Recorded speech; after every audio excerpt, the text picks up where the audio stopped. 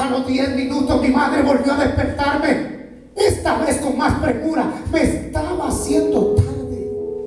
Me levanté como un bólido. Apenas si me lavé la cara. Me acabé el desayuno en un abrir y cerrar de ojos. Y ahí estaba mi madre diciéndome, come despacio, hijo, te vas a ahogar. Con la a regañarme. Aún tuve que soportar las preguntitas de rigor. ¿Llevas el almuerzo? ¿Te cepillaste los dientes? ¿Tienes listos los cuadernos? Y aún más impaciente contesté levantando un poco la voz. Ya te dije que sí. Deja de fastidiarme, mamá. Ella sonrió suavemente y me dijo, anda pues, no te enojes. Dale un beso a tu madre. Y ven con cuidado a la escuela. Alcé los hombros con fastidio y le dije medio enfadado, mamá, ya es muy tarde. No tengo tiempo para esas tonterías de darte un beso. Está bien, hijo, contestó.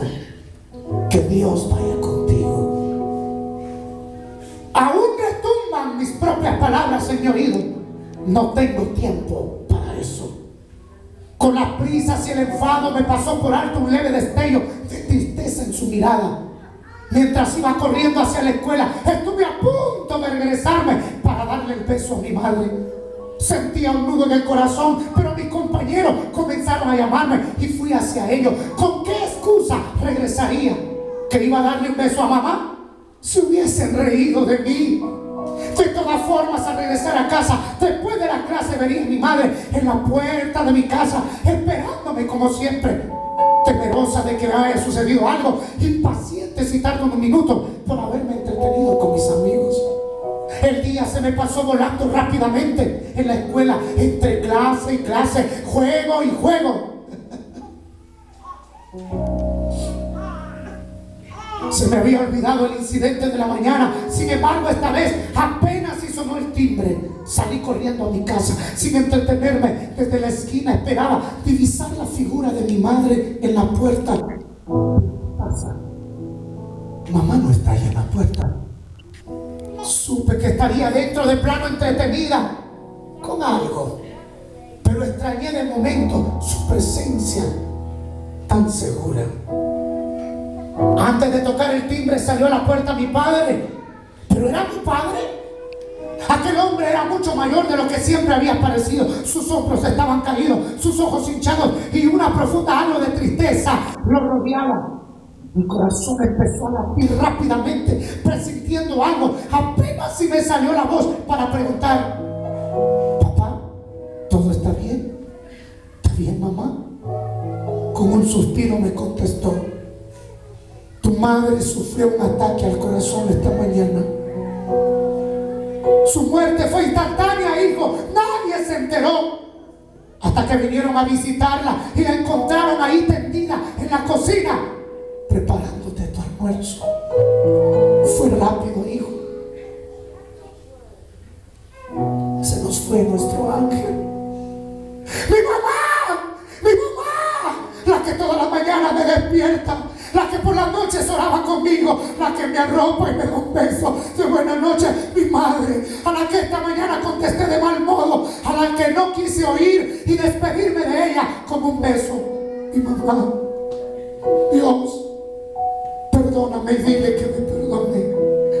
Aún soy un niño pretendiendo ser hombre. Dile por favor que ella es lo que más amo en esta vida. Que sus brazos me han dado seguridad siempre. Y ahí donde me he sentido más protegido, dile que su suave sonrisa me acompañará toda la vida. Y que prometo valorar a las personas que comparten conmigo mi existencia. Y no malhumorarme con ellas por ningún motivo. Que les daré miles de besos todos los días por todos los que no pude darle a ellos. Aquel día que me dijo, ven y dale un beso a tu madre. Tienes ahí al lado a tus padres. Quiero que los abras. Y quiero que le des un beso a tu madre. Y que le digas que la amas. Porque viene un día que querrás hacerlo y no se podrá.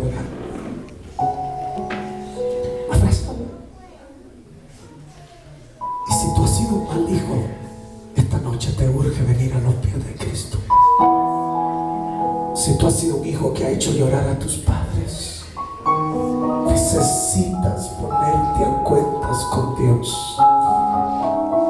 No quiero que digas, perdóname mamá, cuando esa señora tenga una caja. No quiero verte llorar el día que tu madre parta, porque esas lágrimas serán las más hipócritas que habrás derramado en tu vida. A un padre y a una madre se le dice te amo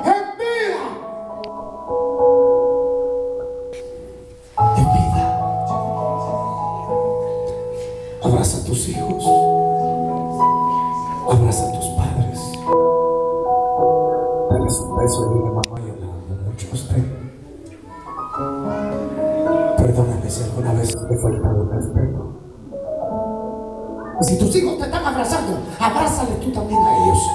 No te me pongas tan difícil. No te me pongas como que tú eres el ofendido. Porque como padre, tú también te has equivocado. Abrázalos y dile, mis hijos, yo ustedes los amo. Aún así ya no sean los niños que eran antes. Yo los sigo amando de igual forma.